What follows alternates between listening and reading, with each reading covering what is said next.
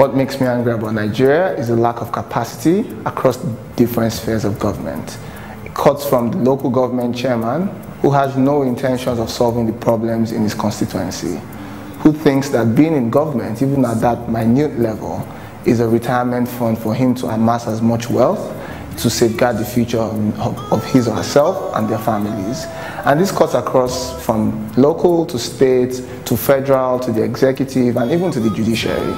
It's a complete lack of capacity to, to think proper solutions to very basic problems afflicting our society. So from healthcare to education to entrepreneurship, the problems of Nigeria are very basic.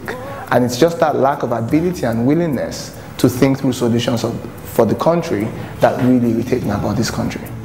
As a people with one heart for one cause, where the time orúkọ mi ni akin oyèbọdè èmi ni ohun àrọmọdọ́mọ fi ohun ẹ sílẹ̀. Join the movement.